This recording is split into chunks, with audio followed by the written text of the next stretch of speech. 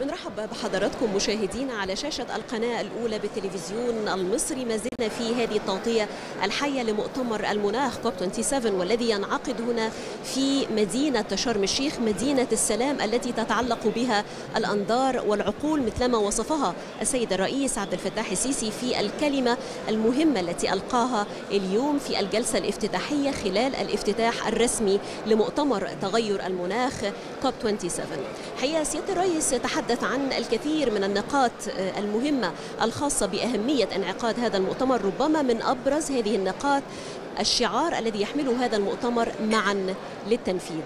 يشرفنا على القناة الأولى شاشة القناة الأولى بالتلفزيون المصري الوزير سالم بن ناصر العوفي وزير الطاقة والمعادن العماني. معالي الوزير أهلا بحضرتك. أهلا وسهلا فيكم ضيف كريم على أرض مصر شكرا جزيلا على. الاستضافة الكريمة. أهلا ومرحبا. أهلا بحضرتك معالي الوزير. آه، بالتأكيد آه، مؤتمر تغير المناخ في الدوره السابعه والعشرين بيحتل أهمية كبيرة للغاية لأنه بينعقد في توقيت بالغ الأهمية المنطقة بالكامل والعالم بأسره بيعاني من الكثير من الأزمات. آه، من وجهة نظرك في ظل هذه الأزمات وهذه التحديات كيف يمكن الخروج بنتائج حقيقية من هذا المؤتمر الذي ينعقد هنا على أرض مصر؟ أولا شكرا جزيلا على الاستضافة الكريمة في بلدنا الثاني آه، جمهورية مصر العربية. آه، لا شك أن التغير المناخي أصبح واقع ملموس آه، لكثير من الدول. سلطنة عمان ليست بمأنى من هذا الشيء. في العرض ال- ال- المرئي الفيديو اللي تم عرضه كثير من الدول عانت هذا العام والعوام السابقة من التغيرات المناخية. كثير من الناس تم آه، إجلائهم من مناطقهم لتعتادوا أنهم يعيشوا فيها. آه، فأصبح الموضوع ملح جدا لاتخاذ إجراءات حقيقية لخفض الانبعاثات الكربونية. نعم. آه، نسبة الانبعاثات الكربونية في ازدياد وليست في انخفاض صحيح. انخفاض.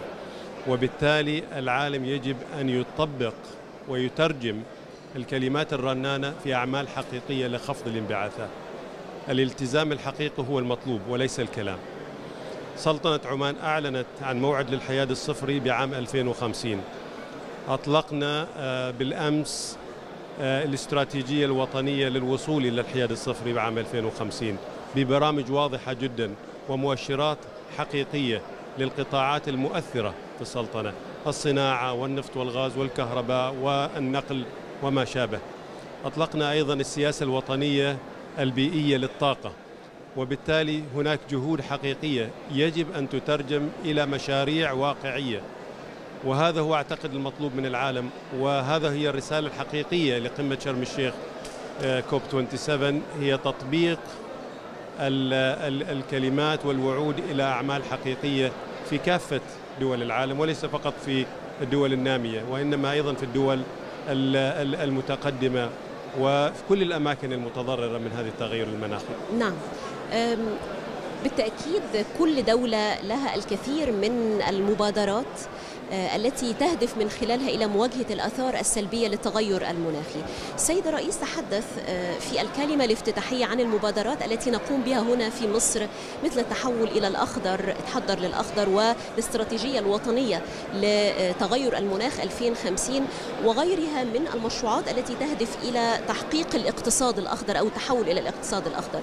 في سلطنة عمان آه، الشقيقة ما هي أبرز المبادرات التي قمتم بها وستقومون بها خلال الفترة القادمة والمشروعات أيضا المختلفة التي تؤدي أيضا إلى تحقيق نفس النتائج آه، الحد من الآثار السلبية للتغير المناخي. بالنسبة للسلطنة طبعا القطاعات الرئيسية هي إنتاج الكهرباء. وخلال السنوات الماضية قمنا بإدخال آه، الطاقة المتجددة إلى الشبكة الرئيسية. أكثر من 600 ميجاوات من الطاقة الكهربائية دخلت إلى الشبكة الرئيسية آه، خلال الأعوام الماضية. قمنا بطرح بعض المناقصات لمضاعفة آه، مساهمة الطاقة الكهربائية في الشبكة المحلية. أيضا أطلقنا ال- المناطق الاقتصادية أو مناطق الاستثمار لهيدروجين للهيدروجين الأخضر. آه، على على أمل أن يكون إنتاج الهيدروجين الأخضر من السلطنه من آه، يعزز من إس- طاقة الغاز من الصناعات المحلية وبالتالي يتم آه، الاستمرار في عمليات العمليات الصناعية باستخدام الطاقة المتجددة وباستخدام الطاقة النظيفة. آه، أيضا هناك مبادرة لإدخال السيارات الكهربائية إن شاء الله وسيتم الإعلان عنها خلال هذا العام آه، لمحاولة آه، تخفيف الانبعاثات الكربونية الناجمة عن طريق السيارات ال ال ال ال الاعتياديه. ففي مبادرات كثيرة جدا يتم العمل على بعض منها والبعض دخل حيز التنفيذ.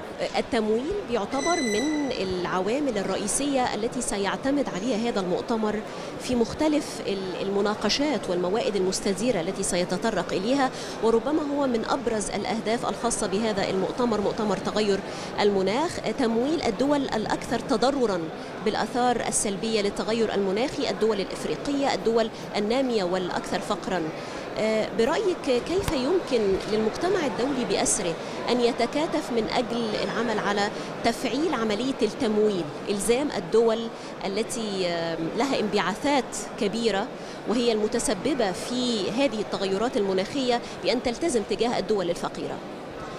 بالنسبة لعمليات بالنسبة لعمليات التمويل يجب أن تكون مشاركة ما بين القطاع العام والقطاع الخاص. لا يمكن للقطاع العام على أن يكون هو الممول الوحيد. نعم. ولا يمكن للقطاع الخاص أن يكون هو الممول الوحيد. يجب أن تكون هناك شراكة. في نهاية المطاف القطاع الخاص قطاع استثماري يبحث عن الربح. القطاع العام هو قطاع ممول لإحداث التغييرات. فلا بد أن يكون هناك شراكة والوصول إلى نقطة تفاهم تلبي متطلبات القطاع الخاص نعم. وتلبي احتياجات البلد في نفس الوقت. وهذا هو المنهج المتبع في سلطنة عمان نفتح المجال للقطاع الخاص للاستثمار والاستفادة من هذه الاستثمارات وفي نفس الوقت نفتح المجال للقطاع العام للمساهمة من ناحية تخفيف الضرائب فتح النقاط الحدودية لاستيراد سواء كانت المواد أو الخبرات أو أفضل الممارسات فيجب أن تكون شراكة آه، لا يمكن لواحد من القطاعات فقط أن يعمل على نعم. حدة معالي الوزير آه، أريد أن أتحدث عن انطباعك عندما وصلت هنا إلى مدينة شرم الشيخ وكيف أنها تحولت إلى مدينة خضراء بكل ما فيها من مظاهر مختلفة زيادة المساحات الخضراء آه، المنطقة الخضراء أيضا التي افتتحها رئيس الوزراء واللي بها الكثير أيضا من الورش العمل المختلفة وأيضا يعني كل ما يتعلق باستخدام الطاقة النظيفة والسيارات بالغاز الطبيعي وبالكهرباء. طبعا الحافلات آه، بشكل أدق يعني. ما هو انطباعك عندما وصلت إلى هنا والتحول الذي وصلت إليه أيضا مدينة شرم الشيخ؟ هو حقيقة في البداية أحيي ما قامت به جمهورية مصر العربية في إحياء المناطق الخضراء في كافة أرجاء البلد.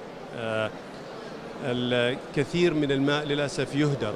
آه، فاستغلاله في إحياء المناطق الخضراء ضروري جدا وهذا ما لمسناه في زيارة شرم الشيخ. هذه أول زيارة إلي لشرم الشيخ ولكن من الإخوان اللي كانوا موجودين قبل لاحظوا في تغير كبير جدا خاصة مثل ما ذكرتي في المناطق الخضراء. نعم.